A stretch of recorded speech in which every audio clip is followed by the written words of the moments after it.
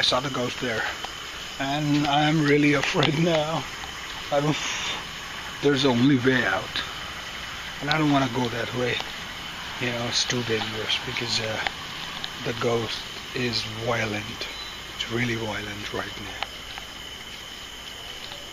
I can feel its evil vibes.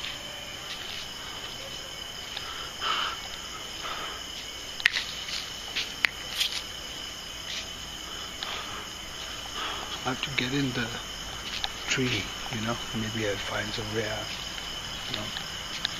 And I think I should have probably done my homework first because when you get in such a shitty place, you must have a backup plan to get out of here.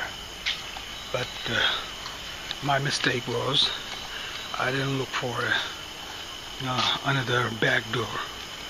Know, this is the only way in and only way out.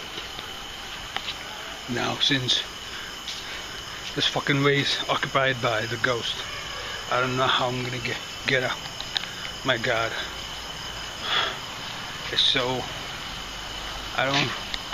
I don't understand what I'm gonna do. It's, it's already midnight, you know, midnight, and my parents they're probably worried about me. I think, what the hell have I left?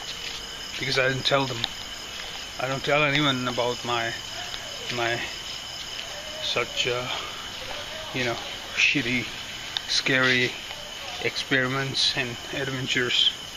I don't want to tell anyone, and it's now it turned out to be a biggest mistake. Maybe it's not there also. And uh, oh my god, oh my god. Fuck. Fuck. My god.